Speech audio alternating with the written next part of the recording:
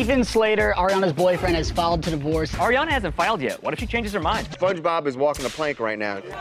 Tonight at 12:30